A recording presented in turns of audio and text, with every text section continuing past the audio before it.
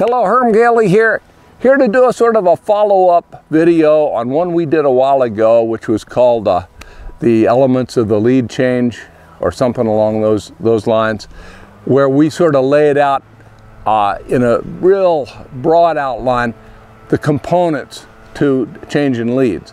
What I'd like to show here today is a specific exercise that I find helps with that process, and then I'll show how that is applied in actually doing a lead change.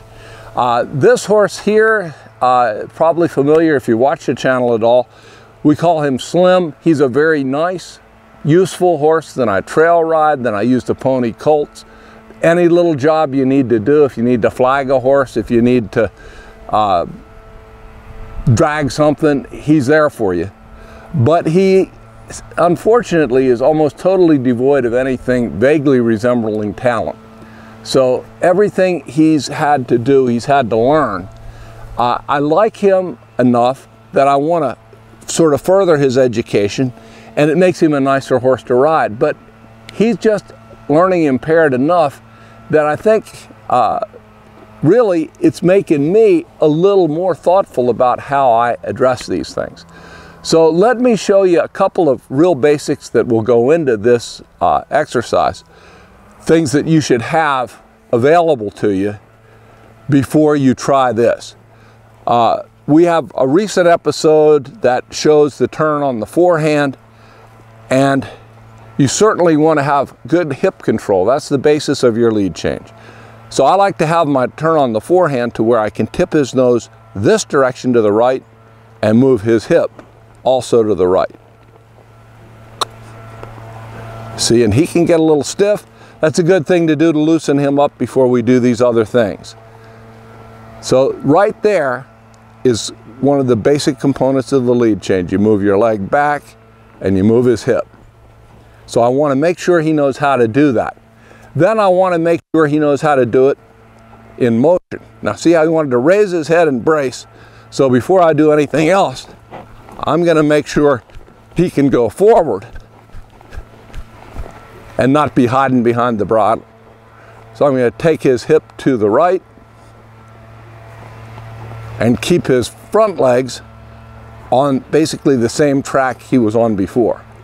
And again, that's your lead change there, only you do it at a lope. So from there, we'll just come across here. You can see what I do with my legs a little better. Make sure he's going forward, and you put him on a sort of a curl and you send his hip to the right but keep his front end to the left not falling in.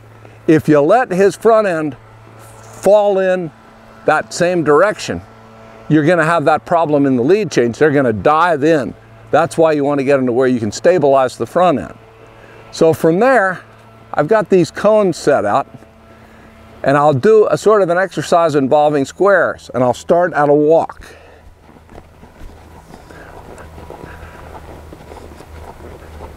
And I'll move his hip over.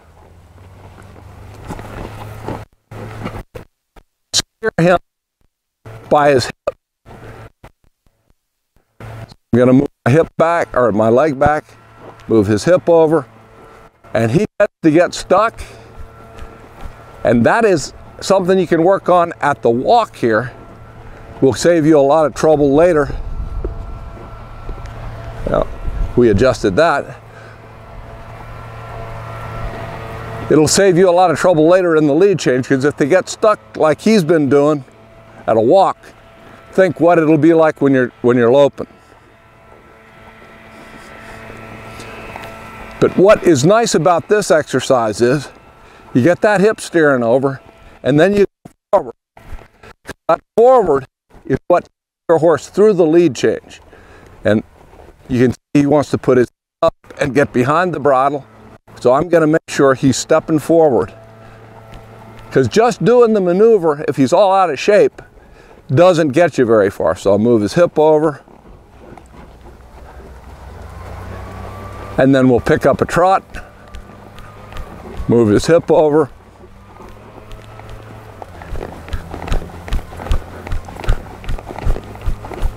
Move his hip over.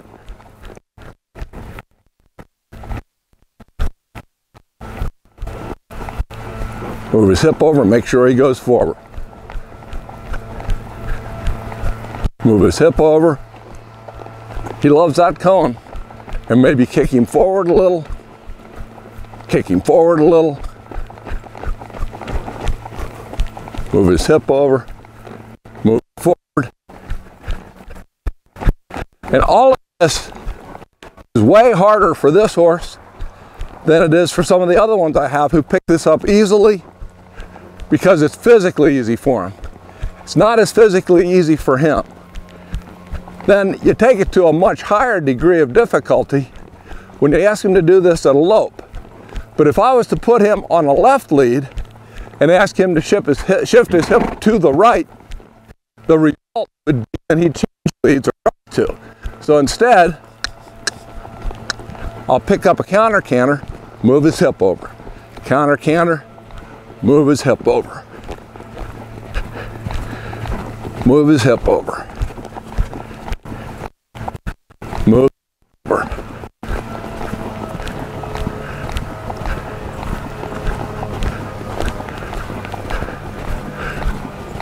So you're doing a change to the right lead, but you're already on the lead. So you don't have that change of lead in there, but you have the exact maneuver or move you're going to need to change your lead.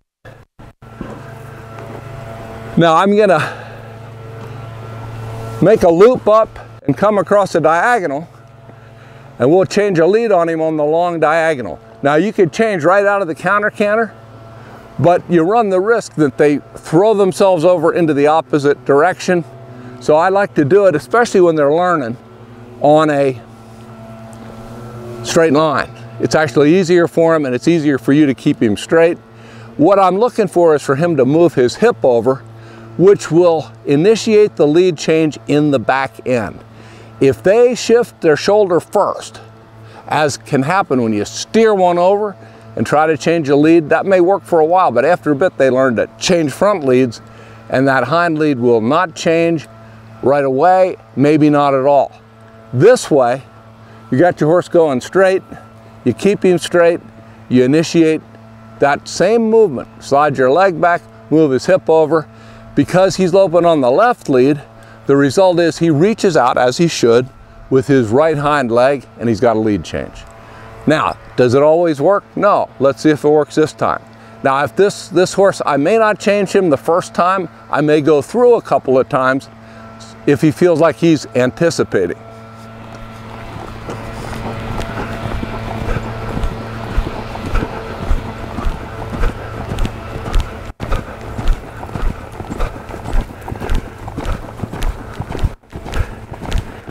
So I'm going to come down this line here.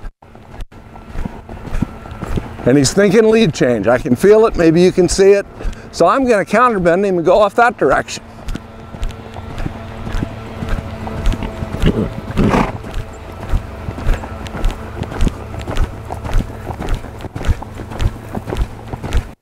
Anticipation is a killer of the lead change. Steve wants to change lead. See him lifting up in front. Guess what we're going to do? We're going to go around again. You want them pretty pure.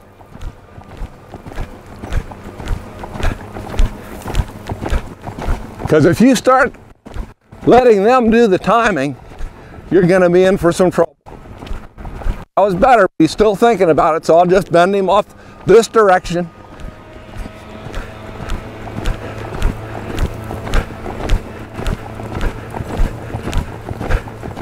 This time he may feel better. I'm going to put a little right leg in him, bring my left leg back, change the lead. Keep loping. You don't want them to slow down, but you don't really want them to run through it either. You just want them to maintain their forward motion.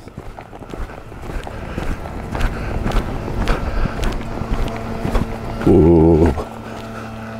Seeing, doesn't matter what you're doing when they when they brace up and stop like that, you probably want to do something to break their shoulder loose and just see if they can do a civilized halt. Doesn't matter what you're working on, something else breaks down, you may as well fix it. Yeah, he's still diving down on his front end. He's not much of a stopper. So, so I'll just lope him up here. And that was a little bit better. And I'll live with that. Wasn't what I set out working with or working toward, but I just didn't want him to think that diving down on his front end was a good thing to do. So you start out saying we're going to work on the lead change, but you work on not having them anticipate, you work on driving them forward, you work on body control, and when you get all of those things put together, the lead change should be the easiest part because all of those shifts I did on him on that square were way more demanding than that single lead change. And the result is your horse will think, lead change is nothing. Can we just get onto it and not do all that other stuff? And after a bit, it almost becomes a sort of a, a pleasant experience for them, which is really what you're after. So that's another little piece of the lead change that I wanted to share with you. Hope it helps you, hope it was interesting, and we'll see you next time.